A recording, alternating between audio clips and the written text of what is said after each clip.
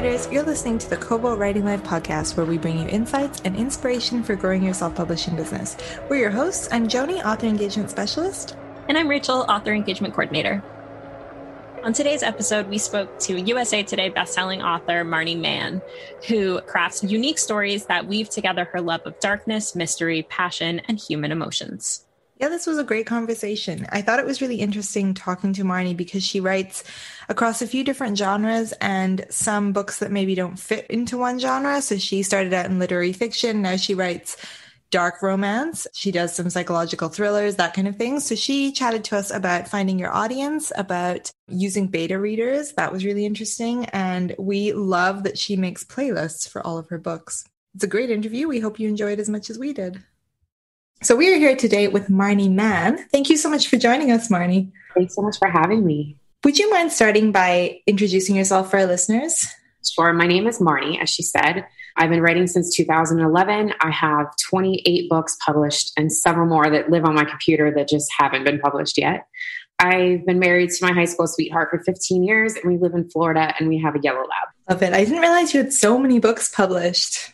How often do you release books? Typically every three to four months. Um, COVID sort of screwed that up a little bit, but that's usually the track. Right. So you've always wanted to be a writer, is that right? It's true, yes. And how does it feel having turned this passion that you've had since you were small into a successful career now? Wild. I don't even know how else to describe it. I never thought that this would ever happen. I published my first book under my real name because I I just never thought that I would even have a book published or that anyone would ever read it. And now all these years later, I've written all these books and I have readers who follow me and it's just a journey that I honestly, this sounds so cliche, but like when you pinch yourself every morning when you wake up, like I really truly do that because I'm just I'm just really blessed with this journey. And you went to school for journalism, correct? I did. Yeah. How did that progress? Like wanting to be a writer, studying journalism, and now you are a best-selling author. Books were always the thing. I just never thought that that was going to happen. So my second idea was to work for a newspaper. So that's where the journalism came in. Um, and actually, my first book, I used my journalistic background, and it's a book on heroin addiction. So I went on not being an addict myself, I went on the streets and interviewed addicts while they were shooting up, just like I did when I interned for the newspaper in high school and college. So it was almost like an easy like transition, honestly. Um, the writing styles are very different, but it's at the end of the day, it's all just writing. So, and that's where my passion was. So for me, it was it was honestly a simple transition. With the journalism training, and with that being the first topic that you wanted to explore, did you ever consider writing nonfiction or was it always something that you wanted to write a novel? Well, I thought I was Carrie Bradshaw growing up, which I feel like most writers say that, but I truly was. I mean, Sex in the City was a huge part of my life in college. So I saw myself writing chick lit. That's really where I thought it was going to be. And so um, in college and after, right after college, I wrote several chick lit novels, and I knew almost immediately, like within the first couple chapters, that that just wasn't my voice. I lost a really good friend of mine to an overdose almost right after I graduated college, and her story, which is not my first book, it was just the inspiration behind it. So her story just inspired me, and I've always written my feelings instead of spoken them. So when I lost her, I just started writing, and it turned into a book. So I didn't intend on writing a, you know, a book about heroin addiction or mainstream fiction. I always thought that some type of romance was always in the cards for me, but you have to go with where you're inspired and that's where it started. So and just kind of touching on that. So you have written both in literary fiction and in romance. What kind of made you make the shift from the memoirs series into more romance books? So I was with a small publisher at the time, and there is sex in the two literary books. And they said to me, and this is like when Fifty Shades first came out, and they said to me, you know, you have this knack for writing sex. Like, would you consider trying it?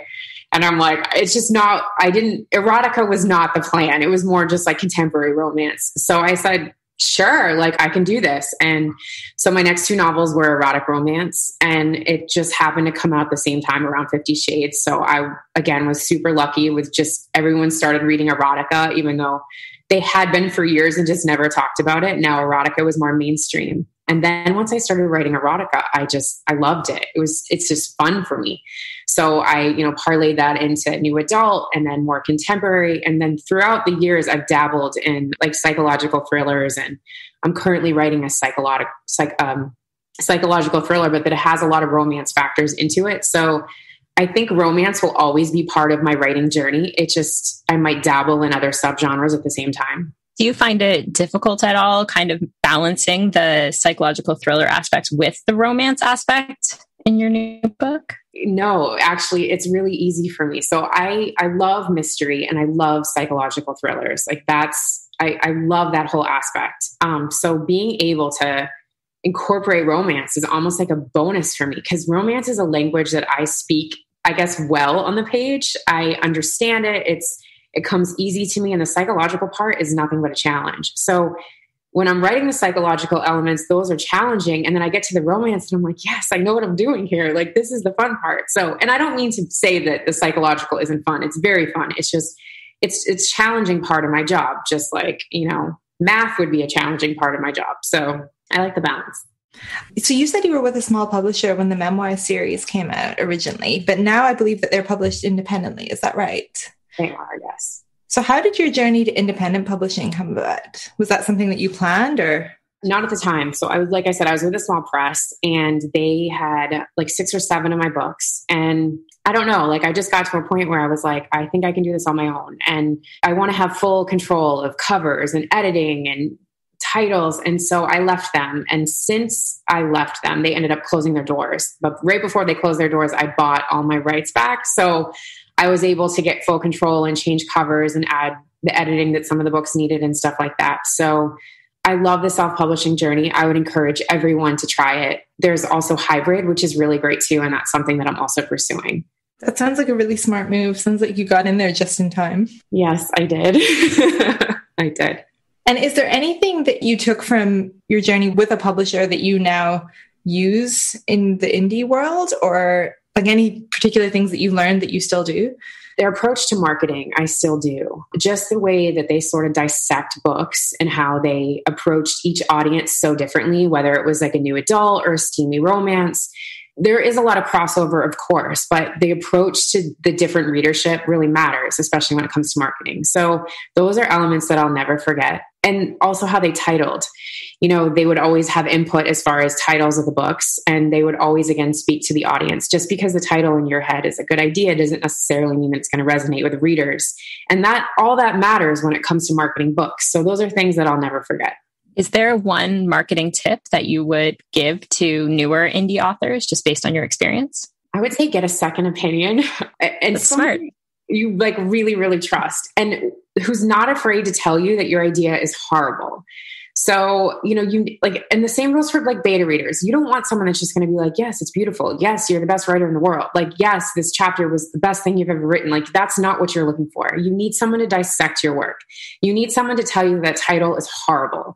You need someone to look at that cover and say, you just got it all wrong. And you need that person in your life. And sometimes it's good to have a group of those people. You know, when I first started, I had like a whole entire team of beta readers who were basically just there to tell me how awful things were. You know and you need that because readers are going to do it to you anyway. So you might as well get all the kinks out before you publish the book. So that would be my biggest advice. Like honestly have a person who you trust who can tell you how much you suck because you need that at the beginning. And you need that you know i'm 10 years into it and i still need it. So you always need that person Something that I've been getting from a lot of authors that we've talked to on the podcast is that a lot of them feel like a part of the reason that they like indie is because they do cross genres or they their books are maybe dipping into more than one genre. Is that how you feel? Do you feel like it's easier not to be pigeonholed the way that traditional sometimes does? Yes, definitely. You know, I write a lot of dark romance too. I have my newest release is a dark romance. And so being able to sort of go across multiple genres like people will ask me often like what is the exact genre of your book? And like i honestly can't give them an answer. And so i think that's where indie comes in that we don't have to have an answer. We don't have to have an exact classification of where our books fall. It's okay if they cross genres. It's okay if we break rules. Traditional doesn't allow that flexibility as much as indie does and same with the readers. Readers are entirely different who read traditional versus indie. I think readers who read indie are a little bit more accepting of us crossing boundaries and like coming out of our boxes. They expect us to, you know, be non-traditional, where the traditional readers don't necessarily expect that. They they know what they want and they're going after it. So it's different readership too. And how does it impact you finding your audience? Like if we imagine that readers kind of go into these genre boxes, like how do you do you find that people read across like you have one reader and they'll read all your different genres or do you have different groups? Yes, I have both. So I have readers who really enjoy my dark fiction and they that's what they ask for and that's what they want. I have readers who like my contemporary stuff and my twisty books and my angsty romance and they don't really like the erotic stuff. They don't want to read detailed sex scenes and, you know, less plot lines, you know, more erotic. Then I have the readers who strictly just want to read erotic. They don't want to cry in books. And I understand too, you know. And then I just have readers who read all of it and they, you know, they're just the most supportive people in the world and they'll read a phone book if I wrote it. And that blows my mind. So it really it, it, depends on the reader. And also i think people are mood readers. I'm a mood writer so i understand that completely. You know my last romance was so angsty. I tell people that they need tissues nearby at all times. We just got over like a horrific 18 months. Not everybody wants to read that and so that's okay. So that's another thing. Like people are mood and their moods change and you just have to adapt to that. I know that that's true. I definitely feel like i'm not reading anything hard to read at all right now because of what's going on. You'd think we'd have all this extra way. time to read, but no, it's like my brain is mush. Yeah, it's true. But speaking of not light things, um, we touched on your memoir series that does deal with addiction issues, but you also touch on a lot of darker topics throughout your romance books. Do you do a lot of research to learn more about these topics, or how does your writing process work? I do. So, um, PTSD is one of the mental illnesses that I just kind of overcame in one of my books. Um, it's the first book in, so I just released When Darkness Ends. It's the third book of a series, but the first book in the series, and they're all standalones, deals with PTSD.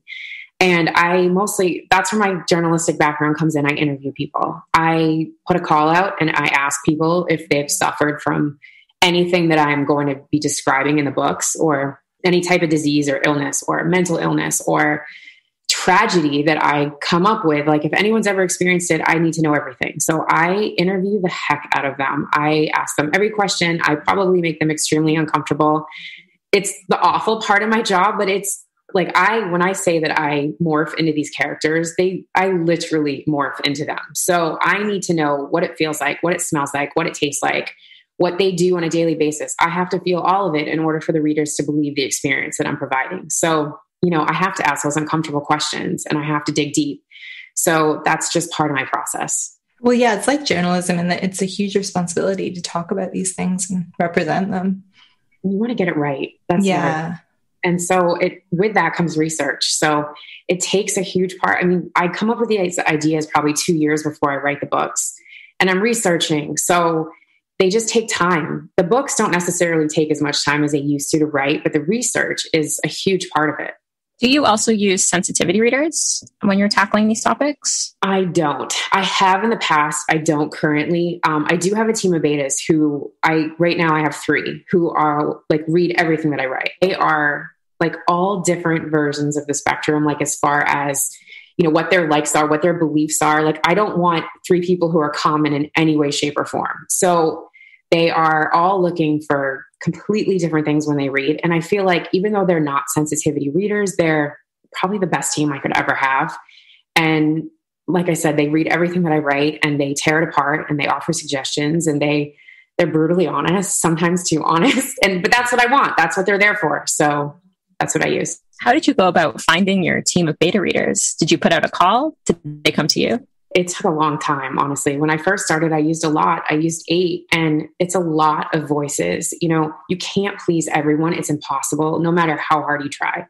So when I first started, like I that was my goal. I wanted to please everybody. And so I thought if I have a large team, it will help me. And it did, of course. And I, you know, people who use a large team, like I'm not trying to say anything bad about that process. It's just it's a lot of voices and a lot of opinions.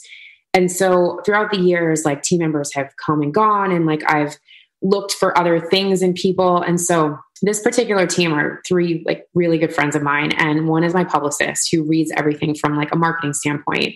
The other two are just really good friends and they've just sort of been part of the journey for a while. And they're just i think the biggest thing is that they're two people that i really really really or three people that i really trust. I trust them with my words my creativity my brain and that's something that is not easily given to people. So i can't say i, I never put a call out. They just sort of like they became my people. And I don't know how to like how that happens. It's just like an organic process. Was there a point, especially earlier on when you were working with a bigger team and you were a newer writer, where all those voices can become a little bit overwhelming? Because really, like, it's great to get the feedback, but the readers can't write your book.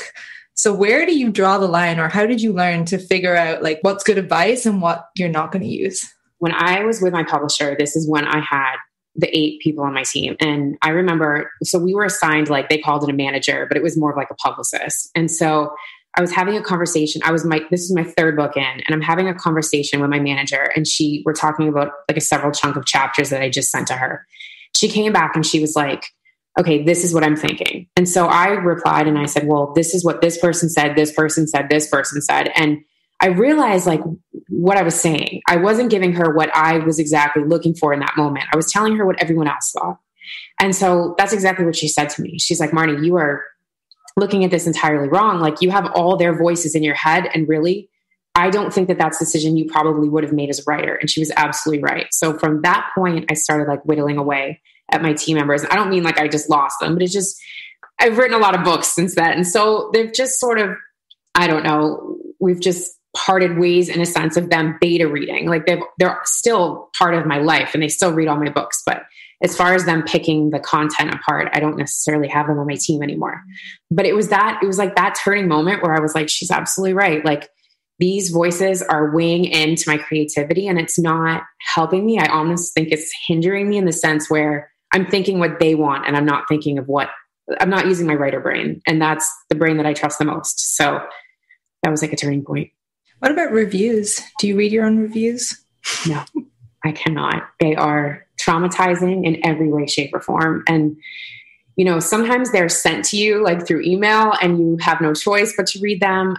They, you know, someone always said to me at the very beginning of my career, the good ones you'll never remember and the bad ones will stick with you forever. And they were so right about that. I mean, I have a lot of books. I've had a lot of bad reviews. They come in the shape of emails sometimes. They come in the shape of direct messages sometimes. Readers, when they want you to know their message, they make sure that you hear their message. And so I would encourage any new writer to run as far as they can from, from reviews because they don't help you. They, in the sense where, yes, you can grow as a writer by listening to their feedback, but you can't change the book at this point. So, I mean, can you learn plot wise? Can you learn things that you shouldn't concentrate on for new books? Can you learn how to slow things down, maybe not end the book so quickly? Yes, of course. It's all a learning process. But as far as, you know, like I, I don't want to say they're attacks because that's not the correct verbiage. But as far as things that come at you as a as a person and as a writer and your story and your message, those things aren't usually that beneficial as a as a writer. It really messes with your your mojo at times. So I don't read them and I would encourage everyone not to read theirs. so switching it around, is there any really great feedback or response that you've had? Because I know that that exists too. Of course, yes, yeah, and it happens with every book. You know, memoirs aren't fairy tales. Is a book I go back to. That's the first book about heroin addiction. I go back to that a lot. You know, just because that was such, it was my baby, and it's like my first book and such a personal journey. So I mean, I've had inmates reach out to me where they've read the book in prison and they've stayed sober because of the book. I've had moms read the book who have lost their children and have said that now they understand the disease of addiction more so because they read it through an addict's eyes and they weren't able to to interview their kids more or less to understand what they were going through before they passed away from from an overdose. You know, I've had schools reach out to me and they're teaching their kids in classrooms, like some of the content that's in the books. I mean, some of the most life changing, amazing things have happened to me as far as, you know, feedback from all my books, especially that one. So much positive. Like, I, and I don't mean to have that previous question like be a, a downer on this conversation at no, all. No, no, it, it, not at all. I think most writers don't like to read the reviews, and I, I don't think I would either.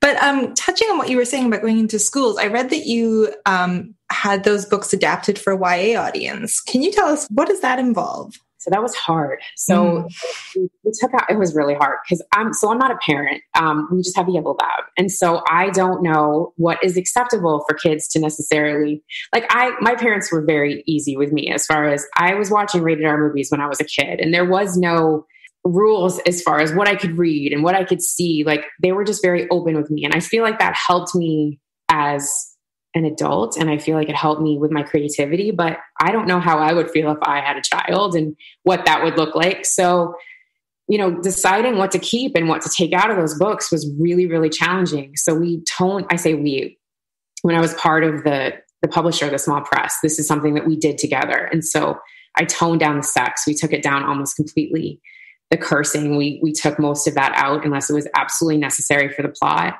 But we kept almost everything everything else as far as content and mess like messaging because all of it we felt was really important. The books actually don't exist anymore. I have them on my computer. I did not republish them when i bought the rights back. I have them.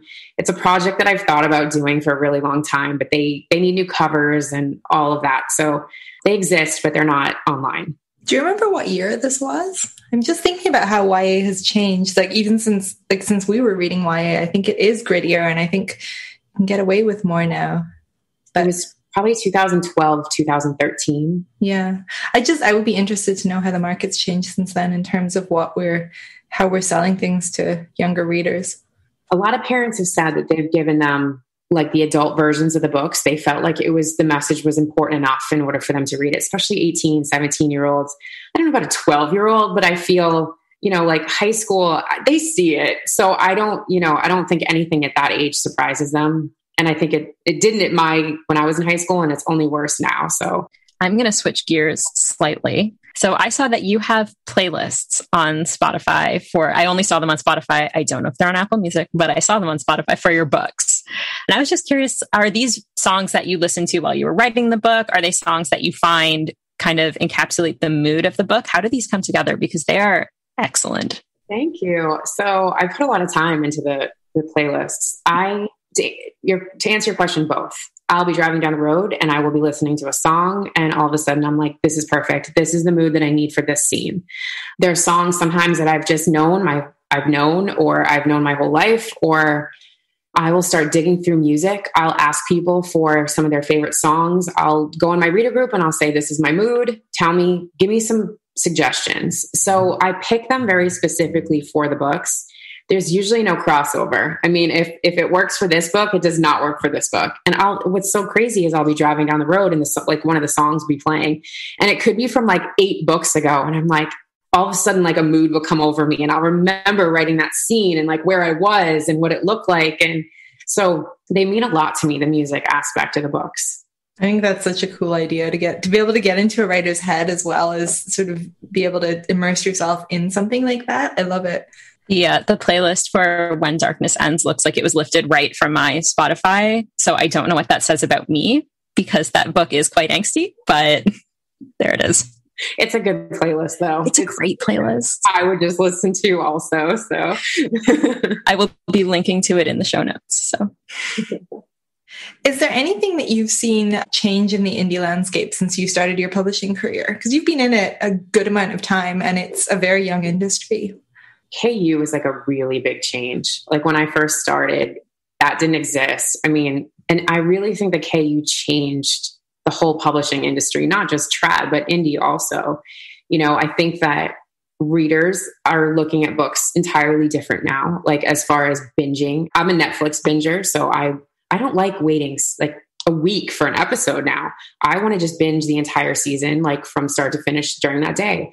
So I understand how readers can look at it the same way. Kindle Unlimited makes that impossible, like makes that possible. You know, it's it's a very affordable way to read, and so that's probably been one of the biggest changes I would say. Just being in the industry for so long and seeing.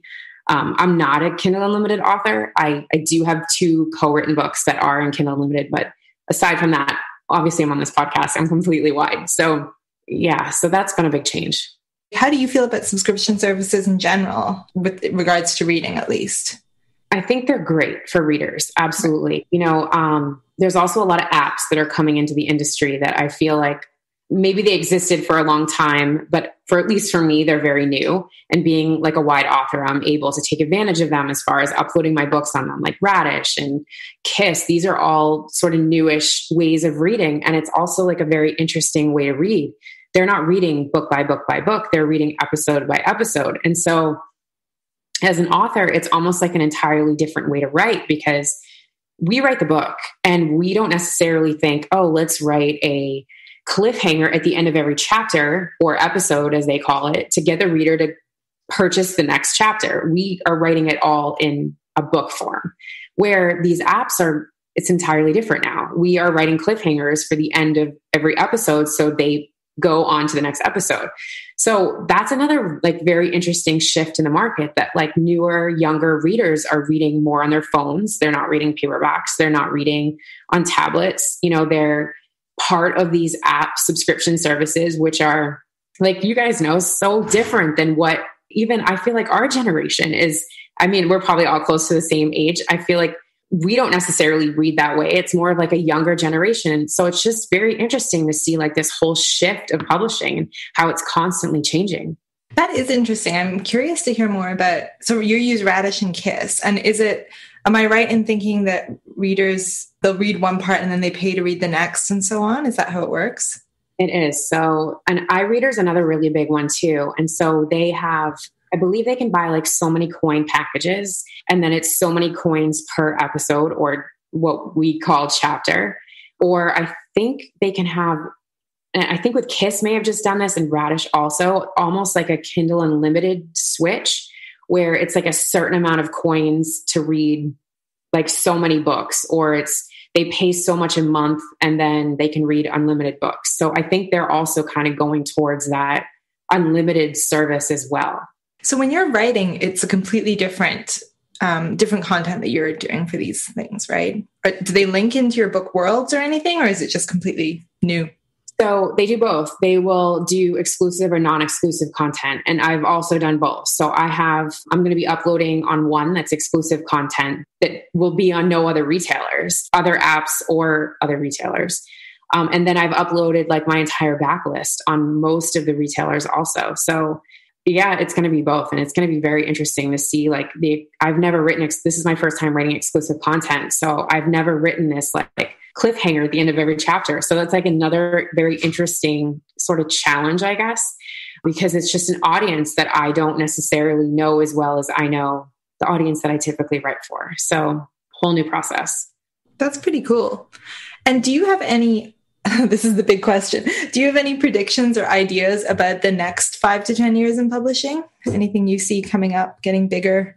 Gosh, I wish I knew. This is like a million dollar question. Exactly. Um, I do feel like the visual aspect is possibly becoming more popular with reading. I feel like readers even though they love the written word more than anything i feel like if there was a visual aspect that went along with reading that i think that they could it would be like so encompassing where they could almost do everything but feel and taste so I, i'm very curious if there's going to be like a i don't know like books being almost made into like mini movies where these apps are creating i don't know if it's like cartoonish like i, I can't visualize what that would look like but it would change their reading experience where maybe there's characters involved with what they're reading. So somehow they can switch back and forth. Like there's audiobooks. Maybe this is more of like a visual book where they're not reading words, they're seeing story and they can go back and forth. I just a guess. I have absolutely no idea. I wish I knew, but I, I feel like we're becoming more visual creatures. So maybe that's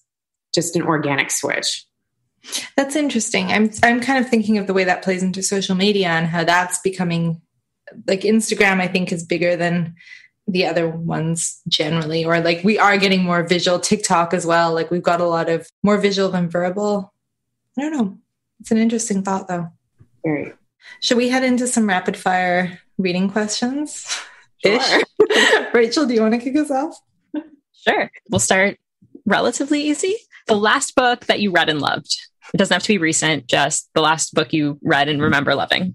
Davy Jones. That book owned every inch of me. Book was very good. and do you have a favorite romance trope to read or write? To read, I would say dark. To write, I would say suspense, psychological. Do you have a book that you recommend the most often? The Idea of You by Robinne Lee. I tell everybody about that book. And I just saw that Amazon is making I don't know if it's like a mini series or a movie out of it, and I will literally be the first person in line to watch it.